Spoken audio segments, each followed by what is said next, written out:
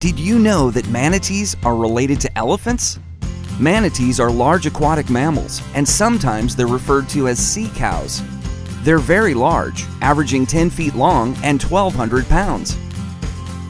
But don't let their size fool you. Manatees are actually incredibly graceful creatures. They also play an important role in maintaining a healthy ecosystem. Manatees eat a lot of seagrass.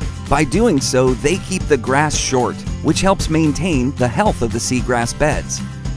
While manatees don't have any true natural predators, they have still become endangered. There are three manatee species worldwide West Indian, West African, and Amazonian. All three are listed as vulnerable to extinction. So, what has caused manatees to become endangered? There are two major threats loss of habitat and collisions with boats and ships. As new developments are built along waterways, natural nesting areas are destroyed. Sewage, manure, and fertilizer runoff enters the water and causes algal blooms. Some of this algae is toxic and can kill manatees if they eat it.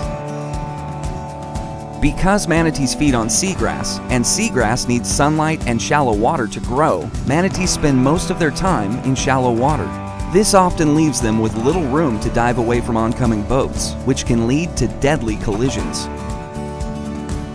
What can be done to help protect endangered species like the manatees? The first step is always an informed public. Educational campaigns teach boaters to look for patterns caused by a manatee's tail on the surface of the water, so they'll know if a manatee is nearby and to proceed cautiously through shallow waterways. In some areas, local governments have adopted slow speed zones in known manatee habitat areas.